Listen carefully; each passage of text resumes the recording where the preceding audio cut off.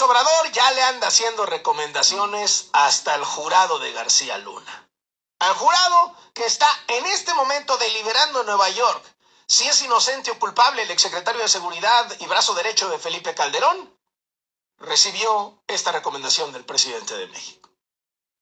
Bueno, aunque no tienen teléfono, yo creo que están informados los ciudadanos que están actuando como jurado. Lo único que yo les diría es que tomaran en cuenta todo lo que debieron haber hecho o la participación que seguramente tuvieron autoridades estadounidenses en este asunto, porque no puede ser posible que eh, no se enteraran si había cooperación, que se haga una recomendación en ese sentido. Y que también se tome en cuenta de que en Estados Unidos se da el consumo de la droga y que el gobierno, con todo respeto, hace muy poco por evitar la demanda o el incremento en el consumo del fentanilo y de eh, otras drogas.